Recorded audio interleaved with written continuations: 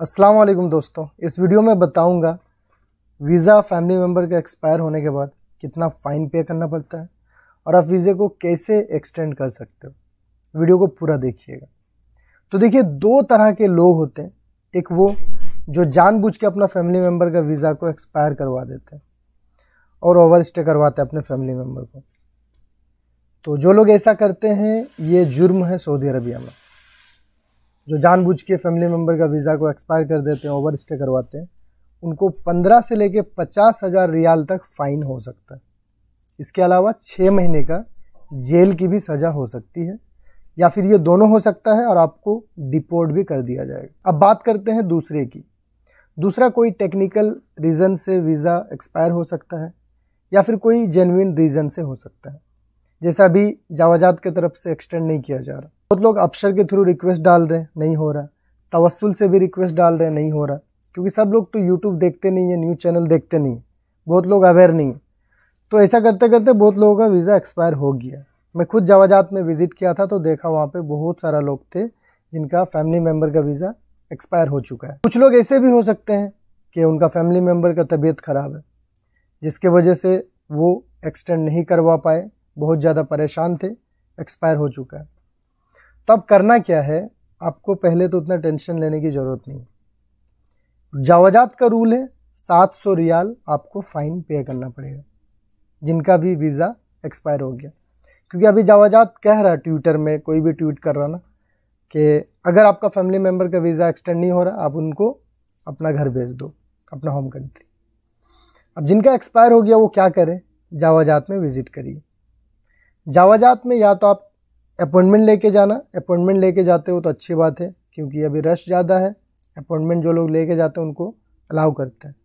नहीं भी ले पा रहे अपॉइंटमेंट, ऐसे भी जाओ, फिर भी वो अलाउ करते हैं। वहाँ पे देखिएगा, जावाजात के बाहर में एजेंट्स रहते हैं। एक्चुअल में वो लोग वकील हैं। उनको जावाजात का बहुत सारा रूल पता रहता है। उनके पास बहुत सारा एप्लीकेशन रहता है फॉर्म रहता है। वो फॉर्म आपको भर के देंगे।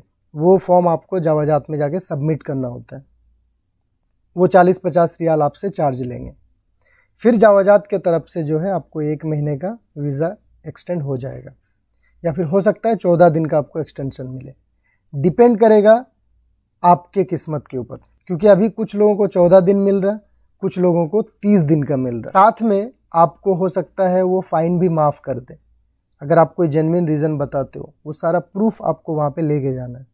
जो तवसल में आपको एरर आया अफसर में एरर आया वो सब का स्क्रीन शॉट रखिएगा प्रिंट आउट निकाल लीजिएगा। अगर आपका फैमिली मेंबर बीमार थे तो हॉस्पिटल का सारा डॉक्यूमेंट्स ये सब आप लेके जाइएगा जावाजात में। वो फॉर्म के साथ में ये सारा पेपर आप सबमिट करिएगा।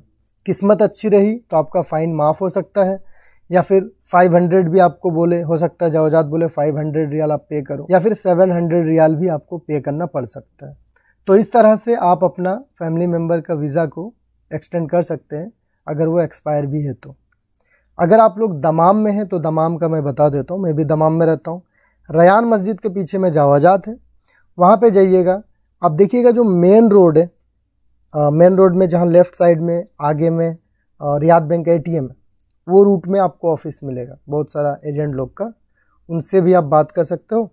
या फिर जो पीछे साइड से आप जाएँगे, जहाँ पे ग्राउंड है जावाजात का, जहाँ पे क्रिकेट खेलते हैं लोग, उधर भी रहते हैं कैनोपी लगा के लोग। तो उनसे आप बात कर लेना। वो आपको सब कुछ करेंगे, आपको उतना टेंशन लेने की ज़रूरत नहीं है।